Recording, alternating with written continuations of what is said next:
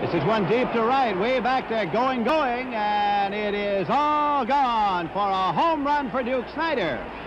That is number 400 for the Duke. The 400th home run of his career hit here at Crosley Field in Cincinnati. His 11th home run of this season, and the Mets are out in front in this ball game by a score of two to nothing.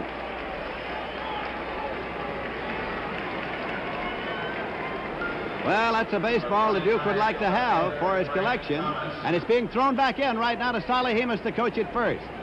And he is putting it in his hip pocket. Solly Hemus has that baseball for Duke Snider as it was returned out of that bleacher area. Number 400, a trophy for Duke Snider.